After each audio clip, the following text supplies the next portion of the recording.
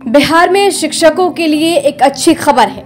शिक्षा विभाग ने काउंसलिंग डेट जारी कर दी है, जिसमें छठे चरण के शिक्षक अब जल्द ही काउंसलिंग में बैठ पाएँगे। आपको बता दें कि बिहार में टीचर बनने की राह में कई युवा लगातार सपने देख रहे थे और कहीं ना कहीं अब उनके सपने पूरे हो सकते हैं। अब राज्य के प्राइमरी और मिडिल स्कूल में टीचर भर्ती के लिए छठे चरण के लास्ट स्टेज का डेट जारी कर दिया गया है। छठे चरण के लिए 17 से 20 मार्च के बीच काउंसलिंग शुरू की जाएगी।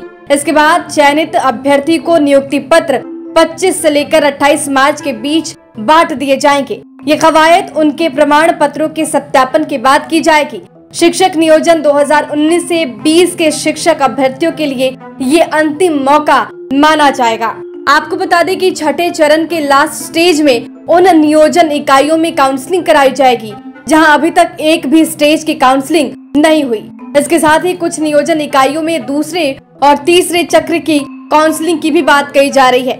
इसको लेकर शिक्षा विभाग के तरफ़ से अधिसूचना जारी कर दी गई है। पहले ये संभावना जताई जा रही थी कि छठे चरण जो बाकी रह गए, उसको सातवें चरण में एक साथ बहाली कर ली जाएगी। लेकिन अब विभाग ने ये फैसला ले लिया है कि छठे चरण में जो बाकी शिक्षक अभ्यर्थी हैं, उनकी काउंसलिंग पहले कराई जाए।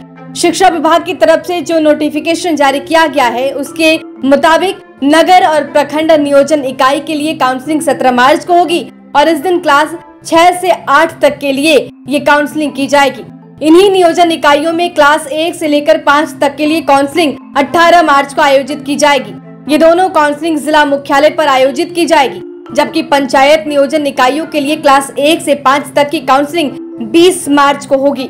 ये काउंसलिंग प्रखंड मुख्यालय पर आयोजित की जानी है। और इसके साथ ही जहाँ जहाँ काउंसलिंग की प्रक्रिया अब तक पूरी नहीं हो सकी, वहाँ 10 मार्च तक नियोजन इकाइयाँ मेधा सूची एनआईसी के वेब पोर्टल पर अपलोड करना होगा और इस मेधा सूची पर आपत्ति प्राप्त कर उसका निराकरण भी किया जाएगा। इसके बाद 15 मार्च तक अंतिम मेधा सूची जारी कर दी जाएगी। शिक्षक नियोजन 2019 से 20 में नियुक्ति के लिए प्रत्येक नियोजन इकाई के लिए ये अंतिम अवसर माना जाएगा।